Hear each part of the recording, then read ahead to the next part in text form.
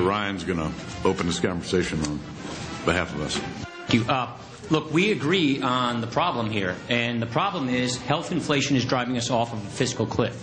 Mr. President, you've said health care reform is budget reform. You're right. We agree with that.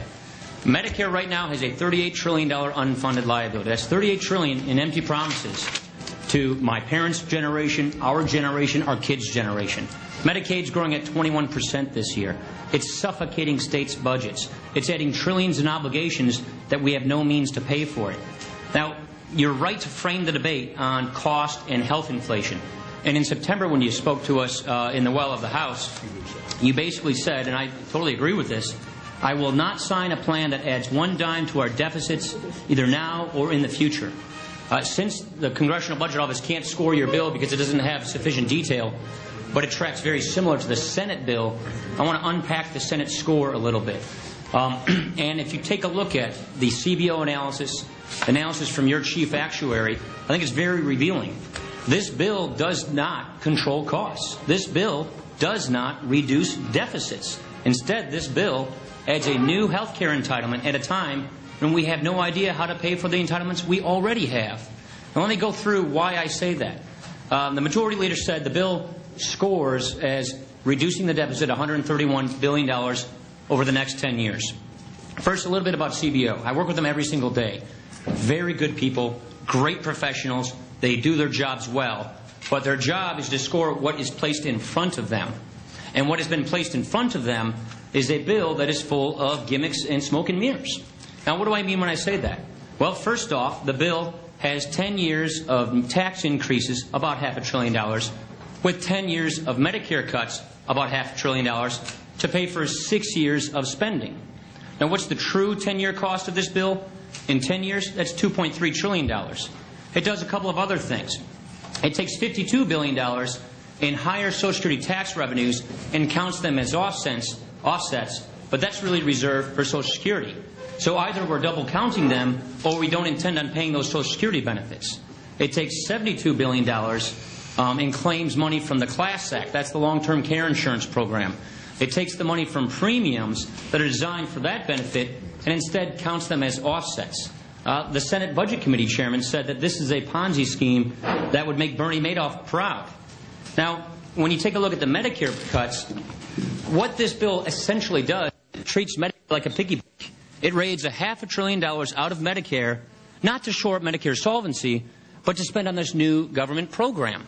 Now, when you take a look at what this does is, according to the chief actuary of Medicare, he's saying as much as 20% of Medicare's providers will either go out of business or will have to stop seeing Medicare beneficiaries.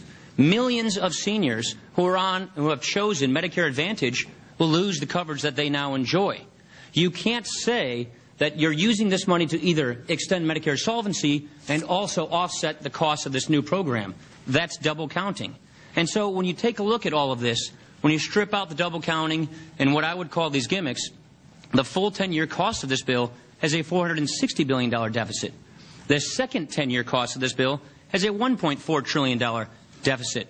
And I think probably the most cynical gimmick in this bill is something that we all probably agree on.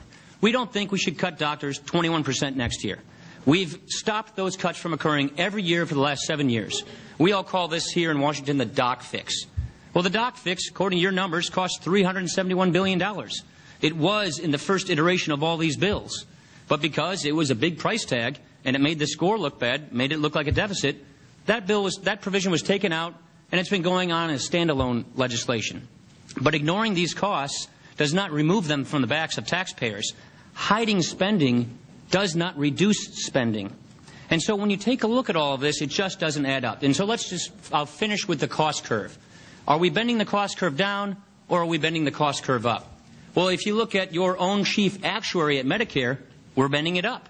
He's claiming that we're going up $222 billion, adding more to the unsustainable fiscal situation we have.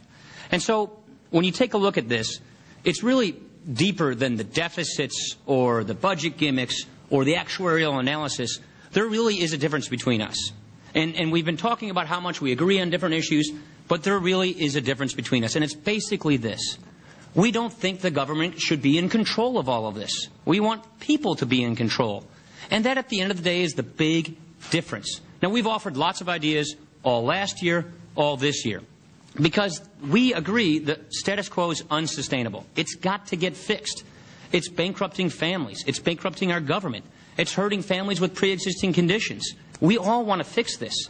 But we don't think that this is the answer to the solution. And all of the analysis we get proves that point. Now, I'll just simply say this, and, and I respectfully disagree with the, with the Vice President about what the American people are or are not saying or whether we're qualified to speak on their behalf. So, uh, we are all representatives of the American people. We all do town hall meetings. We all talk to our constituents. And I've got to tell you, the American people are engaged. And if you think they want a government takeover of health care, I would respectfully submit you're not listening to them.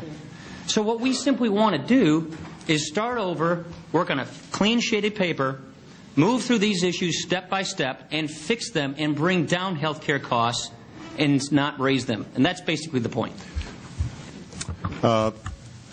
I'm going to call on uh, Xavier Becerra, but I, I just want to follow up on a couple points. I, I,